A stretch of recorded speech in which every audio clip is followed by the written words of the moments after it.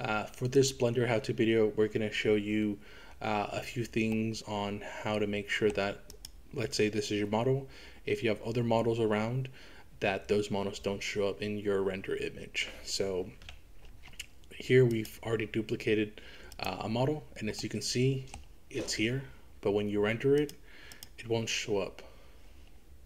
The only reason is because you also select, I, this was also deselected. So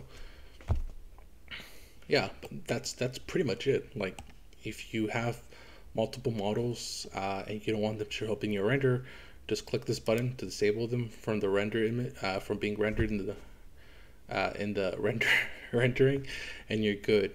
Um, another way to go about it, just to make your life easier, uh, let's say you have a, a collection of stuff, right? Just go here, click the don't show the render disable render in renders and that way you have like a whole bunch of models or like reference models that you that you need to uh, display here that are part of like this big one but you don't want them to render. Just do that and that's it.